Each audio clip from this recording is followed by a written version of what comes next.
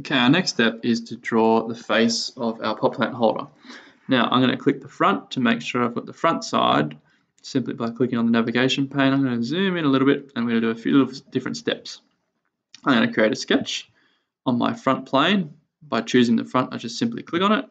Now I'm going to go back to my line tool, go to my top left corner, make sure it's on the corner to ensure it is. It's little um, circle with a rectangle square around the outside, sorry.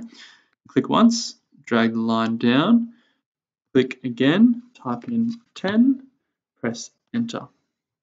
Now you'll notice the line is still connected to my mouse. That is good because we won't actually want to go to this center point. Once you've reached it, please ensure it's a straight line. You'll know it's a straight line when it is dashed yellow and blue. Once it's on the center, click again. You'll notice it's 25, so it's exactly halfway. And if I move my mouse to the right, it's still connected.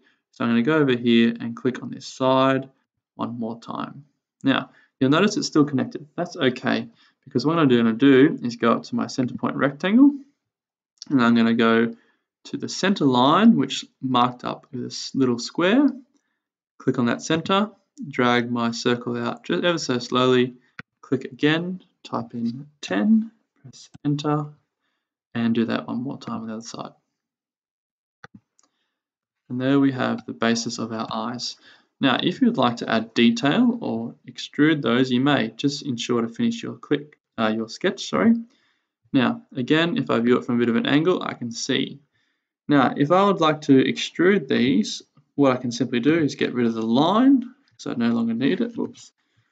Zoom in and I can click on both of these pieces, extrude and remove them. Now, I don't want to remove them both by about two mils type in 2 and press enter and I get a bit of a shadow effect. So if I click again on those other two, press the tick, I have done an indent at the start of our project and you'll notice it looks quite effective.